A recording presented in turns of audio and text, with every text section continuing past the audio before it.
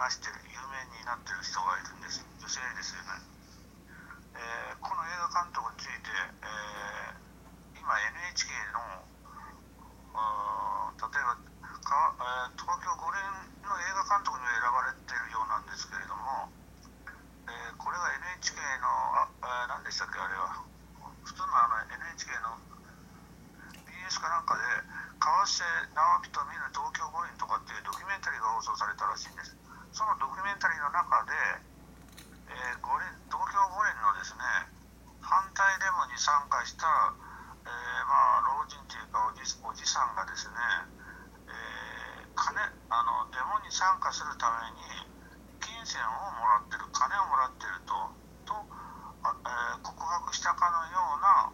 うん、テロップが流れていると。映像の字幕で金をもらもらったっていうかもらいつももらってるようなことを言ってる人が出てるとどうもこれが怪しいっていうことで今、えー、話題になってまあ大炎上してちょっと事件になりかけてるんですけど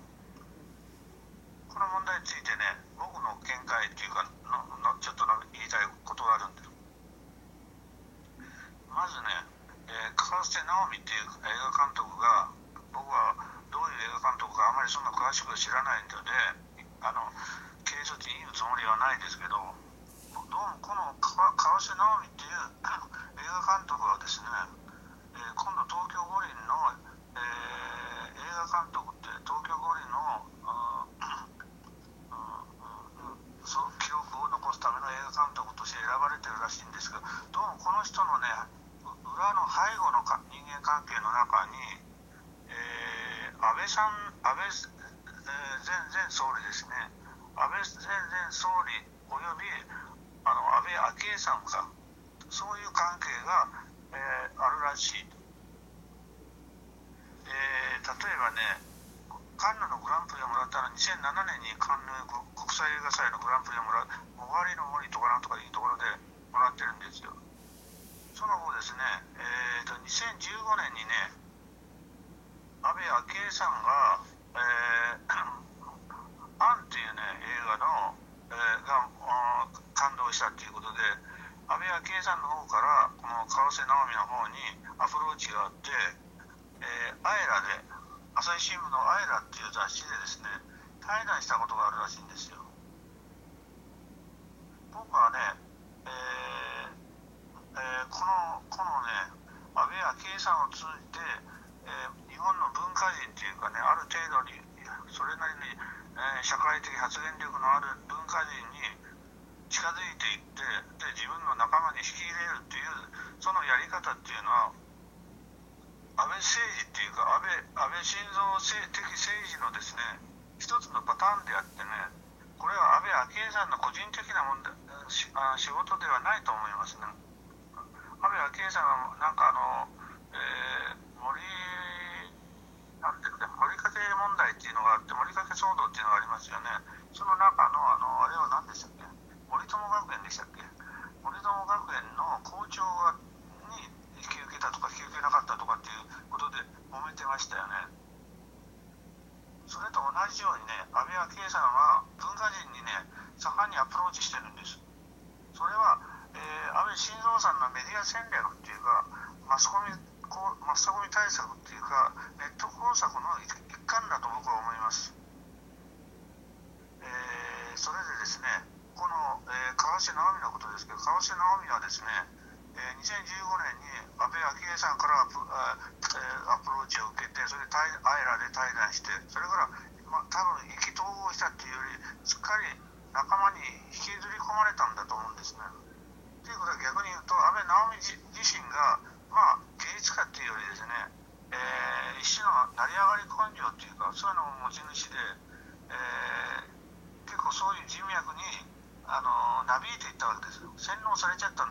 ですよ自分の方からそれ以後ですね川瀬直美はねあのそのままあ、貧しい映画監督っていうよりねなんか、えー、成り上がったね国際映画監督っていうか有名な映画監督の役割を演じ始めてとそれと同時に、えー、安倍晋三グループのですね中に取り込まれてでそこの中でのし上がっていったんだと思うんですね。それで最終的にはその、えー、東京オリンピックの東京五輪のですね、えー、映画監督に選ばれてでそれの映画を、えー、ずっと撮ってると。写真と写真をいっぱい撮ってると思うんですね。でその様子をですね NHK がドキュメンタリーで流したわけですよ。川瀬直美と見る東京五輪ということで。その中にその怪しい、えー、お金をもらってデモに五輪反対デモに参加したと。五輪反対デモっていうのは五輪反対っていうのは日本の大多数が実はえー、コロナが全盛期でしたから最盛期でしたから、えー、五輪に対しては必ずしも賛成じゃなかったわけですね。そういう時に五輪反対にデモがあった時デモに参加するのにお金もらお金を払ってまでデモを組織する人たちが果たしていたかどうかですよね。まあいたかもしれないしいなかったかもしれないけど、まあ、それはいいんです。けどこの NHK が捉えたそのあ反対のおじさんっていうのが実は正体がわからないと。裏付けができてないと。で一部の人たちはどうもやらせくさいと。捏造じゃないかと。多分僕はこれは、ね、やらせでありね捏造だと思うんですよ。で川瀬直美はそのことについて、えー、今、あの、批判されて、あの、一応コメントを出してるんですけどどうも自分は知らなかったと全然その映像なんかも前もって見ていないとか、まあ、多分ね、これはこういう言い方は映画監督としてもう失格だと思うんですよね。自分たちが、えー、中ああの、えーとそのえー、お金をもらったという、えー、おじさんのおじさんの話っていうのは男性の話っていうのはそれを、えー、写真に撮った取材したその人物っていうのはえー、もう一人あのいるわけですけどそれは川瀬直美グループのですね今回のオリンピックを撮影するグループの中のカメラマンの一人だと。だからこの人に責任を負ちれるっていうものかもしれない。そうはいかないと思うんですね。この、えー、川瀬グループのね川瀬直美グループの、えー、仕事の中の重要な一環でしょ？で、えー、監督がその映像写真とかそういうものをフィルムとかそういうものを点検してないっていうのもおかしな話ですよね。僕はこれで分かったことはあ文学の僕はまあ文学の世界のことをなんか言ってましたけど文学の世界にはねクリティックというか批評っていうものがないんですよ。厳しい批評とか批判とかそういうものがなくなってるんですよ。最近の映画僕は映画の映画映画界っていうもののあの実態っていうのはあまり詳しいわけじゃないけどどうも映画界もあのよいしょのね、えー、持ち上げるそういう批評ばっかりがあって厳しい批判をする映画映画批評家っていうものがいないいなくなった。でもう映画監督はある意味であの権力迎合であるね金権体質でありで、えー、上昇志向である成金市民まあ、反芸術的芸術という観点からいくとですね全く逆行してるわけですよ。この川瀬直美がね典型的なんですよ。だから川瀬直美はだから安倍昭恵さんを通じて安倍人脈と、あのー、関わる深入りその人脈に深入りすることによってあの金権体質自分自身が金権体質になってるんですよ。で、えー、その上に上昇志向だし成金趣味になってるんですよ。なんか噂によるとえー、いろいろ上流社会の体質が染みつしているらしくて嫌がられているわけですけれども僕は今回の、えー、その、えー、五輪反対デモの参加者がお金をもらって参加していたという話をでち上げたこの NHK 川瀬直美この、えー、2人っていうかまあ2組がですね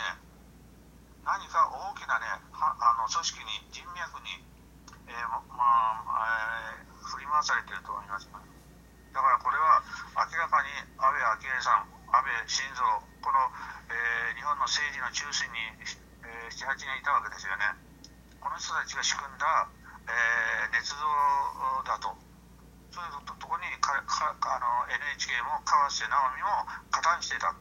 これは徹底的に、ね、批判されるべきことだしね映画界はもっと厳しく糾弾糾弾すべきだと思いますね。僕はもうこれで、えー、川瀬直美っていう映画監督のね、あれは生命はね、なくなったと思いますね。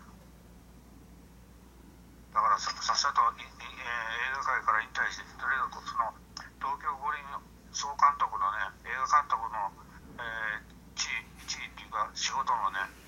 やってても意味ないと思いますね。出来上がったものは、所詮、あの宣伝映画っていうか、えー、一部のですね、あの、あの、あの政治勢力に対するおべんちゃら映画になってにに過ぎないと思います。で、日本にも早く、早くっていうか、もう一度厳しい評価とか、映画批評価とか、そういうものが必要だ